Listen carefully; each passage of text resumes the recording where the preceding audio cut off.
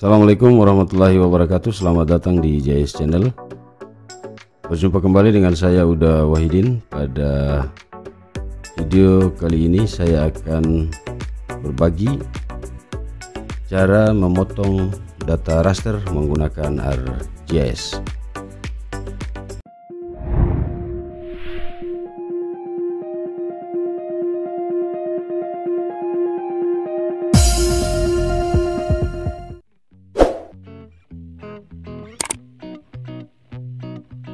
Oke, baik, langsung saja kita mulai tutorialnya. Pertama, tambahkan data raster yang akan kita crop atau potong. Untuk contoh pertama, saya akan memperlihatkan bagaimana memotong data dem yang pernah saya buat tutorial pada video sebelumnya. Nanti akan saya cantumkan pada sudut kanan atas video ini. Nah ini adalah salah satu contoh data dem ada beberapa cara untuk melakukan pemotongan data-data raster dengan RGS yang pertama manfaatkan tools drawing pada RGS seperti biasa apabila belum tersedia kawan-kawan bisa menampilkannya dengan cara klik kanan kemudian pilih tools draw. Untuk melakukan cropping atau pemotongan data raster menggunakan tools drawing kawan-kawan bisa menggunakan tools-tools ini. Misalnya kita gunakan tools rectangle. Tentukan area yang akan dipotong dengan cara membuat rectangle drag tekan kemudian pilih. Lakukan perubahan simbol untuk bisa kita lihat dengan mudah area yang akan kita potong. Setelah memilih area yang akan dipotong pastikan bahwa tools rectangle terpilih dengan cara diklik. Kemudian pada data yang akan dipotong data raster klik kanan pilih menu data ekspor data kemudian tentukan lokasi penyimpanan.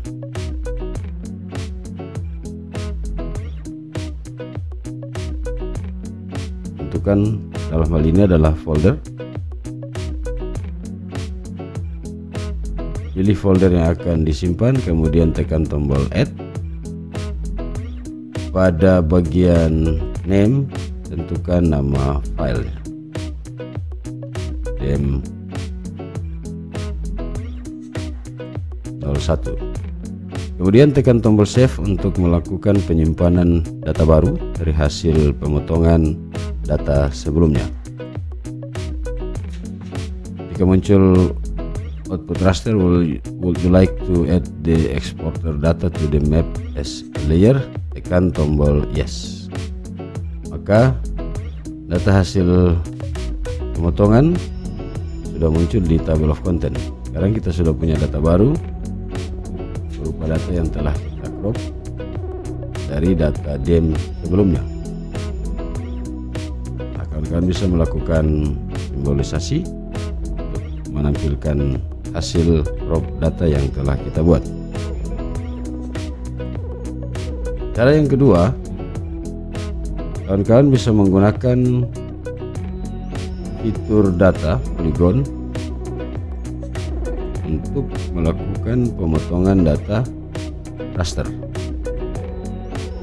Yang ini saya hapus terlebih dahulu.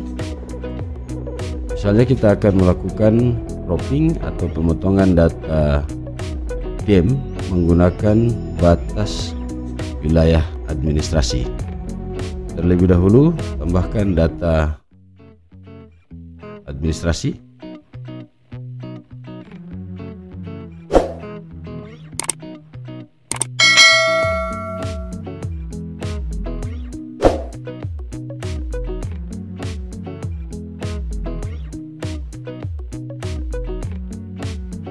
Misalnya saya punya data batas desa.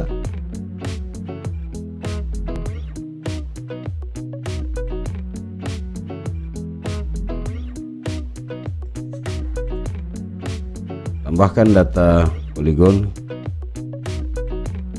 Kemudian untuk melakukan pemotongan data raster menggunakan poligon gunakan tools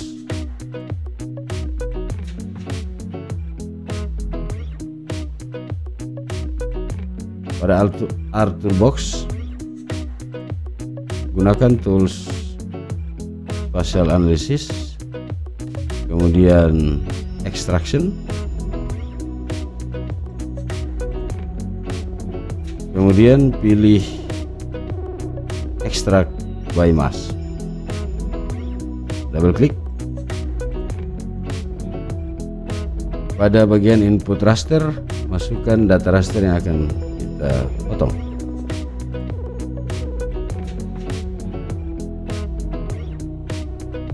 Dan pada bagian input raster or fitur mass data masukkan poligon yang akan kita gunakan sebagai fitur pemotong data raster. Selanjutnya tentukan lokasi penyimpanan untuk data raster baru yang akan kita potong.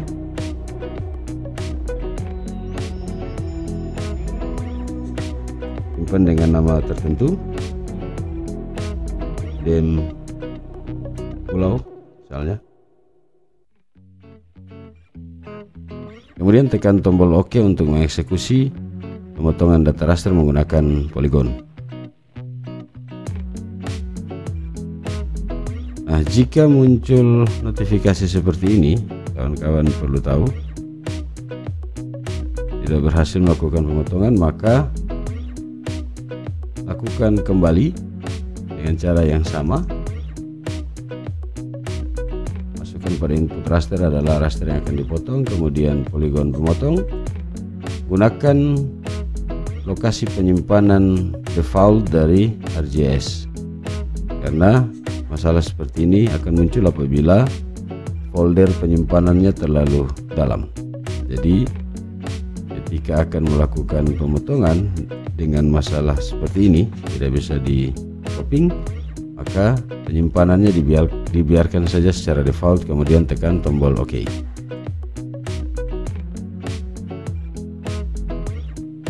Nah sekarang kita sudah punya data baru data hasil pemotongan dengan poligon batas wilayah Selanjutnya bisa kita lakukan simbolisasi untuk menampilkan data dalam bentuk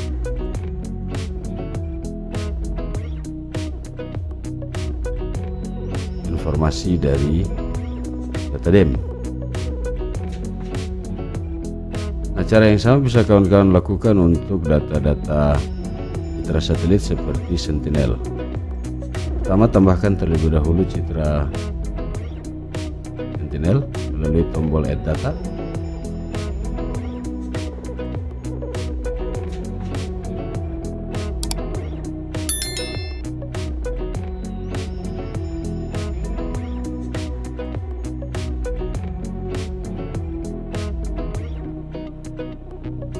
pilih band-band yang akan dikomposit terlebih dahulu.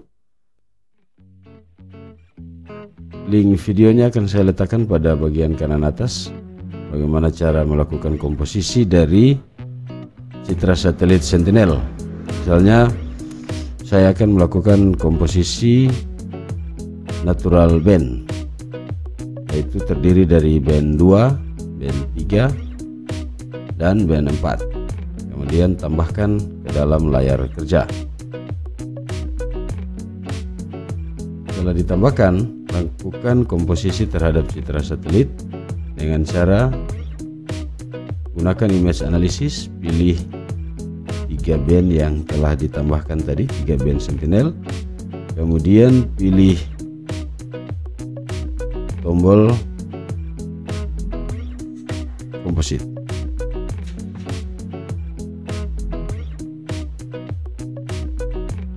setelah hasil komposisinya telah ditampilkan dalam table of content. Maka selanjutnya lakukan pengaturan komposisi band 4 3 2 untuk komposisi band natural. Selanjutnya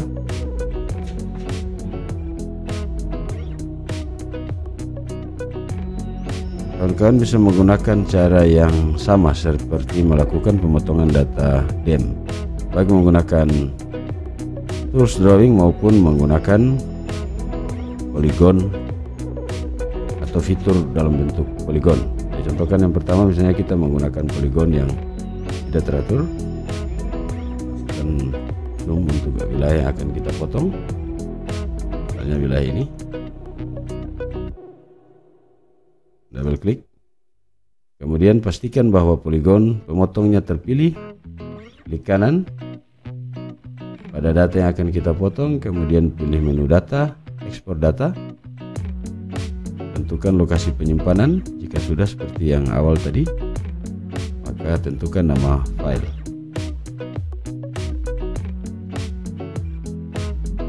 Tekan tombol save.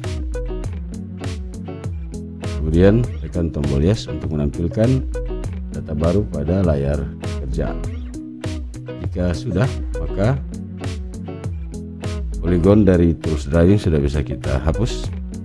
Ya kita sudah memiliki data baru yang bisa kita komposit kembali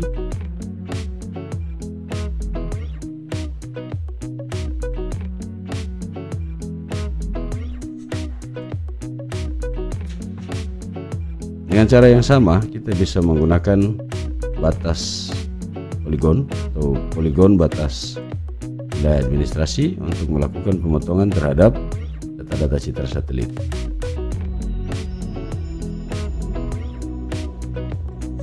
Gunakan R toolbox, kemudian spatial analysis, extraction dan extract by mass. Caranya sama, masukkan raster yang akan di cropping atau dipotong. Kemudian tentukan fitur poligon yang akan digunakan. Untuk pemotongan raster dengan by mask biarkan saja pada fitur penyimpanan default kemudian tekan tombol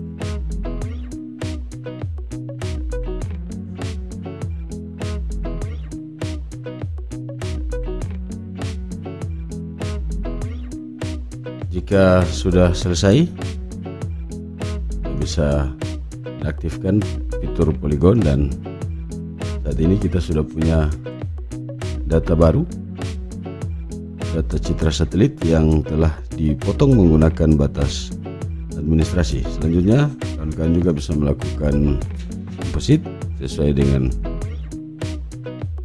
komposit band natural. Dengan demikian kita telah punya data baru yang telah dipotong berdasarkan fitur poligon. Dalam hal ini adalah batas administrasi. Saya kira demikian tutorial kali ini. Mudah-mudahan bisa dicoba oleh kawan-kawan. Saya kira sangat mudah. Terima kasih sudah menonton.